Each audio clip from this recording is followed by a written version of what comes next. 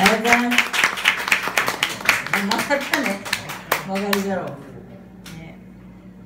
うんね。なんかねあのこれまで聞いてたまあ、あのインロックはすごい真面目な、ね、かっこいいロックでしたけどその前の2つ聞いてたらなんか面白いことをせんならいかんみたいなね。そうだよね。仕込んでないんですよ。だけどこれは割とおかしいかなって誰も多分やったことないのを今からやってみようかなって思いますけれども。真似せんでよ。よそで。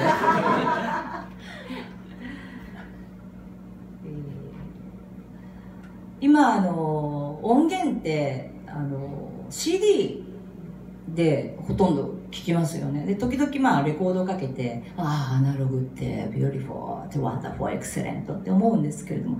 昔あの私たちが多分この中にそんなサウンドを生で聞いた人はいないと思う SP サウンドっていうのがあってあのラジオでしか聞けない時の音を今夜再現してみようかと。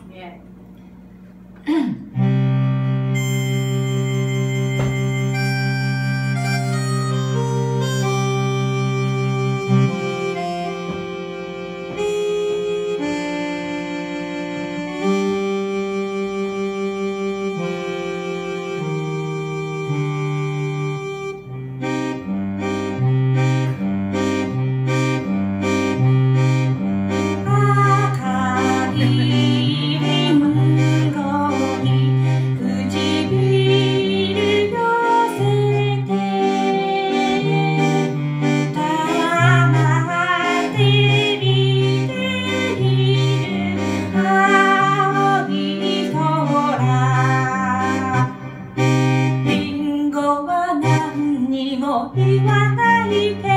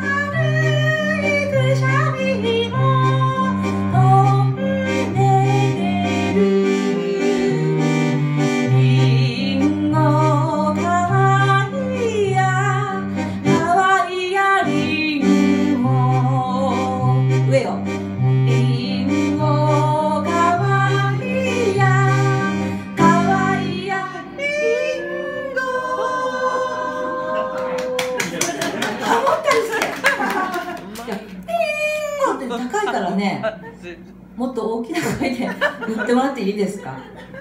リンゴかわいいやかわいいやリンゴ